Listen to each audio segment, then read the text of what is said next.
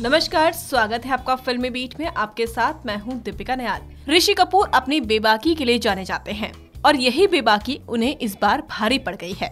दरअसल अपने बेबाक बयान की वजह से वो ट्रॉलर्स का शिकार हो गए हैं। मुल्क की कामयाबी के बाद ऐसा लग रहा है जैसे ऋषि कपूर के पास ज़मीन पर नहीं है। ऋषि कपूर ने एक बार फिर अपने बयान से सोशल मीडिया पर हलचल मचा दी है और ये हलचल इतनी ज़्यादा बढ़ गई कि ऋषि कपूर को कमेंट के बाद तुरंत अपनी पोस्ट डिलीट करनी पड़ी। दरअसल हुआ कुछ यूँ था कि ऋषि कपूर की फ़िल्म मुल्क को लेकर उनके फैंस ने उनकी तारीफ़ की और बधाई भी दी।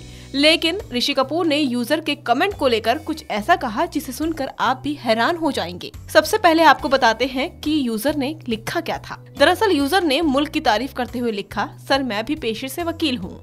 मैंने आपकी मुल्क देखी और जिस तरह आपने वकील और पीड़ित को दिखाया है, वो काबिल तारीफ़ है। वकील होने के नाते ऐसे सामाजिक मुद्दों को सामने लाने के लिए मैं आपको बधाई देता हूँ। यूज़र के इस कमेंट के बाद ऋषि कपूर ने जो लिखा, उस पर विवाद होने लगा। ऋषि कपूर ने यूज़र का शुक्रिया अदा करते हुए लिखा धन्यवाद सर। लेकिन वकील होने के नाते आपकी इंग्लिश लैंग्वेज ग्रामर और स्पेलिंग बेहद खराब है। मुझे समझ नहीं आया कि आप कहना क्या चाहते हैं। सुधार लीजिए। ऋषि कपूर ने नसीहत दी इंग्लिश को लेकर, लेकिन ट्रॉलर्स ने उनकी ही खिंचाई कर दी। ऋषि कपूर के इस कमेंट के बाद, एक के बाद एक कई कमेंट्स आए, जिसके बाद ऋषि कपूर को परेशान होकर अपनी पोस्ट को डिलीट करना पड़ा। वैसे ही पहली बार नहीं है जब ऋषि कपूर को अपने बयान की वजह से परेशान होना पड़ा हो।